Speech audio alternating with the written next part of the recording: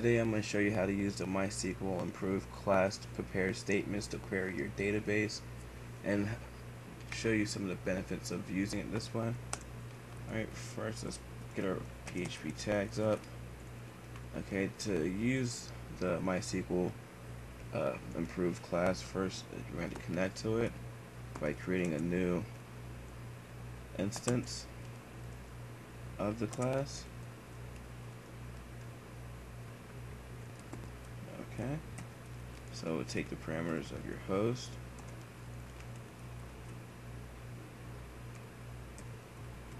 Username. Password. And the database.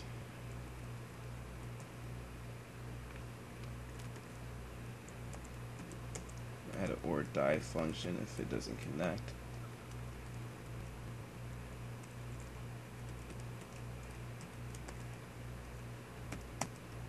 Okay. Now let's make a, a statement. Alright, so I'm going to go ahead and go to connect. Go into this class and bring up prepare uh, the prepare method. Here um, is where your query will go. So I'm going to say select ID title and body from post. Okay. Now, when you prepare the statement, it gives you the ability to take the fields and store them in the variables to be used later when you're fetching. So, let's go ahead and make the variables that we're going to be storing each field into. Alright, so we statement, bind, results. Okay, the first one will be for the ID, for the title, and for the body. Okay, now if I was just leave the code as is, the code won't actually be executed there will be no uh, query the database. It, of course, it would connect to it, but none of this right here would happen without, unless uh, I add the statement execute. Now this executes everything. So this runs this prepared query, binds the results for each um, field in the table, the ID, the title, and the body. Uh, stores them in the variables, and now I can uh, grab them later. Also, I like to use another function. Statement store results. This allows me to it uh, stores all the results and it allows me to uh, run statements like echo statement numRows.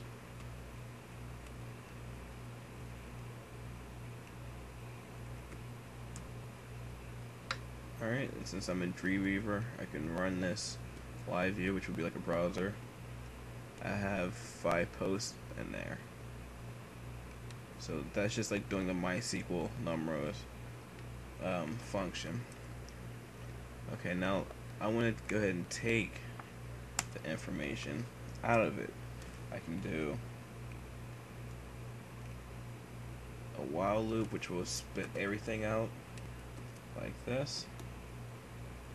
Statement, going into the statement, and fetch. Okay, I'm gonna get out of the while loop like this so I can make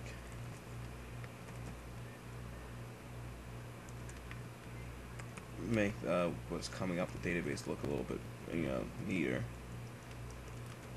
I go H1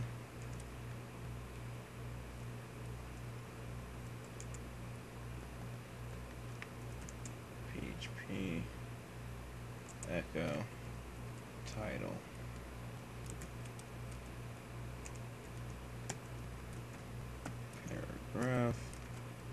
PHP echo body. Alright, save. Okay, save that.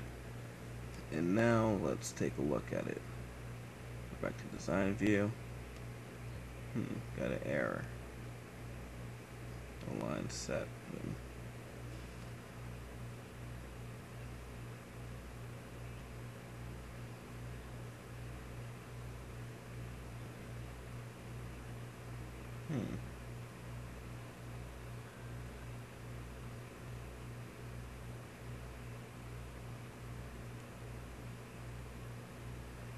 Saying I can't use it.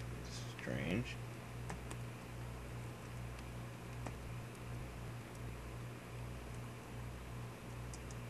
Fetch. There we go. Alright, and you see, instead of doing it the old way with the normal MySQL functions, I'm able to grab everything within the variables and spit them out here on this side. And now I'm going to show you another way of, say you want to find uh, pass a variable through your query. Say you want to do, and you're searching for something. Say it was to add it as where I ID equals, I don't know, 3. You wouldn't do it exactly like this when you're preparing, using the prepare statements you'll do where ID equals question mark. Okay. And then you'll run statement bind parameters and since we're going to be passing through an integer we put in an i. S for a string b for a boolean. So i 3 here.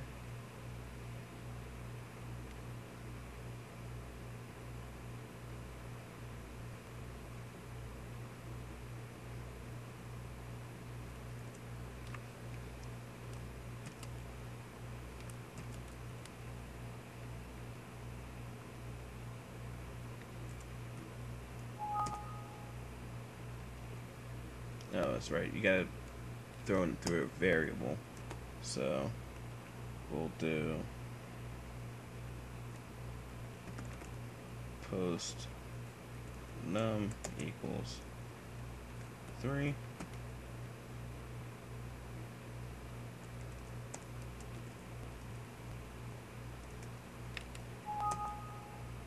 3 there you go so with this I can I could have easily just used integer to show it'll work.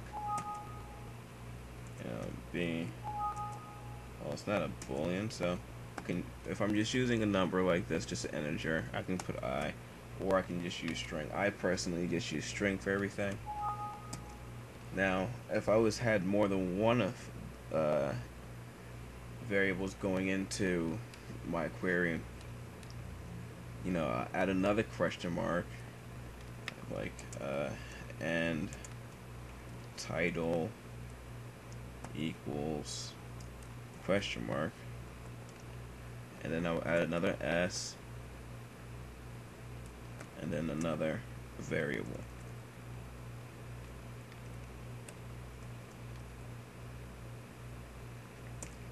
Okay.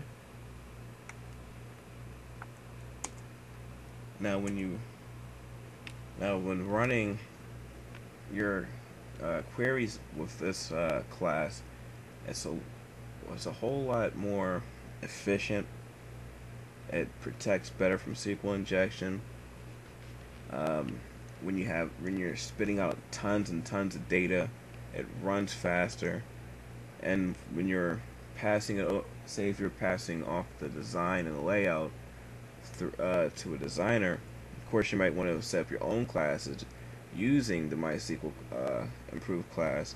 But if you have the code on the top of the page, you know, and the person really knows, you know, just a fair amount of how to use the, um, you know, PHP, it makes it a lot easier for them to get at things within the database when grabbing just, you know, when you just have to worry about grabbing title and body, the variable set up through the, um, the binary results function. Okay, so this was a quick tutorial on how to use my, MySQL uh, improved class. Um, I'm going to probably within the next week I'm going to have another tutorial showing how to use this by uh, use this to input information to a database but from a form submitted using jQuery.